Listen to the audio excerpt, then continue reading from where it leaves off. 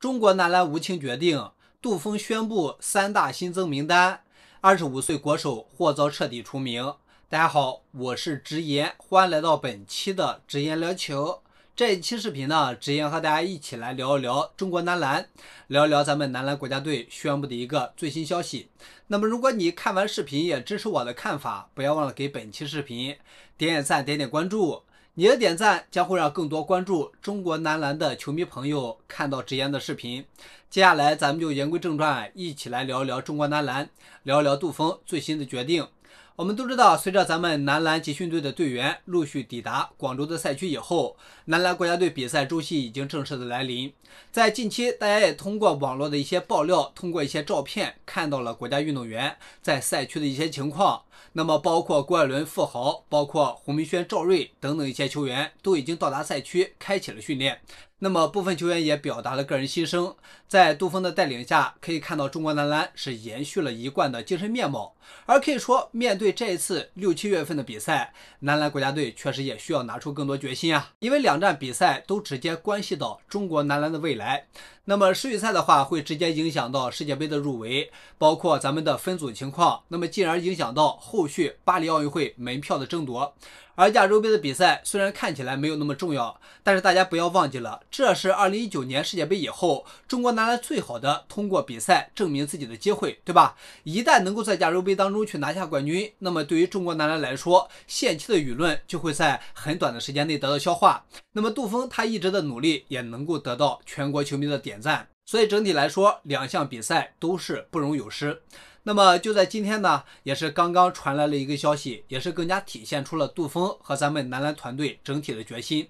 在今天早上，根据咱们男篮国家队最新的确切消息。杜峰是新增了三名国家队球员，让他们直接加入到男篮限期的集训。那么，熟悉国家队、熟悉杜锋的球迷应该都知道，这样的一个候补情况，在杜锋接手国家队以来，确实很少发生。在前几期国家队比赛里，很少有咱们在集训中间再去抽调队员的情况，对吧？所以这就证明了，对于这一次比赛，男篮国家团队确实慎之又慎，保持着非常谨慎的态度。那么这一点从选人方面就已经开始，所以这一次。候补的宣布应该会让大家对于男篮、对于杜锋拥有更多信心。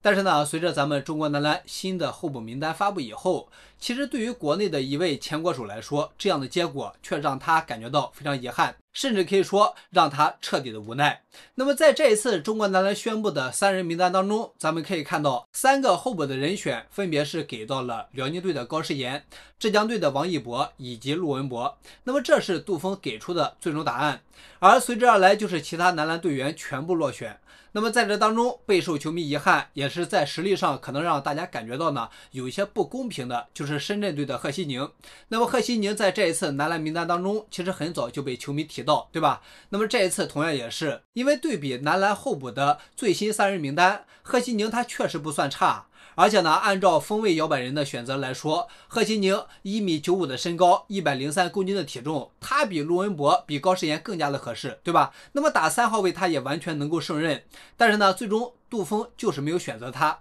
所以这就可能表明了国家队很明显的一个态度。那么对于贺西宁。杜锋可能不会在短期内去考虑，而原因大家应该也都清楚，因为在中国男篮宣布第一次集训名单以后，贺西宁他是在第一时间呢就发文去炮轰咱们国家队不尊重他，对吧？所以这样的球员，杜锋会给到他机会吗？那么其实现在中国男篮已经用行动给出了最终答案。可以说呢，从心智上，贺西宁短期内确实很难达到国家球员的标准，所以只能连续的遭遇国家队的淘汰，甚至说在短期内遭遇到除名。那么对于这样的一个运动员来说，我们也希望在后期他能够去厚积薄发，能够真正的从自身去找问题。而且呢，贺西宁他二十五岁的年龄，其实已经在国家队不占据任何年龄上的优势。所以在短期内，我们也希望何西宁能够认清楚自身的问题。那么这样的话，中国男篮未来才会有他的一席之地啊！好，那么本期视频呢就聊这里。喜欢听直言聊球的朋友，不要忘了给视频点赞关注。